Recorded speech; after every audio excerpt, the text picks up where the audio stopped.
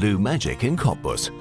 This town close to the Polish border enveloped itself in blue light to celebrate the 23rd Festival of Eastern European Film. This year the festival has turned the spotlight on Sinti and Roma. More than 20,000 people flocked to the town's movie theatres to see 150 films from eight nations. The festival keeps on getting bigger. Wir äh, beschäftigen uns momentan mit allen. At the moment, we look at films from all the former socialist countries of Europe, as well as äh, international films that have a connection to Eastern Zu Europe. Osteuropa haben immer mit, mit unterschiedlichen Schwerpunktsätzen. Run Boy Run is just such a film and won the Audience Prize this year.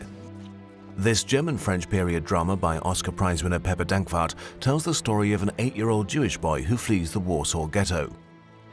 Możesz tu zostać jakiś czas, ale nie wolno ci wychodzić ani pokazywać się przy oknie. Actor and jury member Elizabeth Duda has Polish roots and grew up in France. And she's keenly aware of those two distinct film cultures. In Poland, it's um, you, there is place for improvisation. For uh, it depends if uh, the day when we, we have to shoot a beautiful sunny day is going to be rain. We have to find a solution, you know, and uh, we don't have time. We just eat a sandwich and etc. French crew has time to have a glass of wine, to to have jokes, to have. It's totally different. They have more time and etc. The French producer Luc Ntonga was also a member of the International Festival jury this year. He says it was a tough call.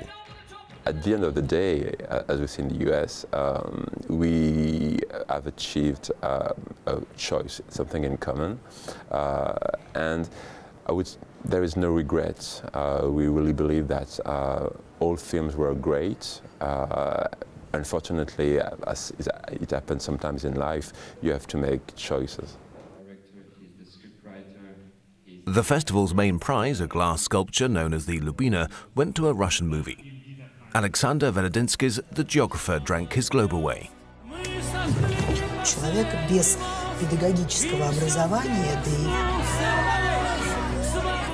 A boisterous mood at the award ceremony packed movie theatres and satisfied audiences.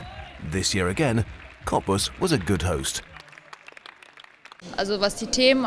In terms of the issues represented, it's very diverse and very colourful.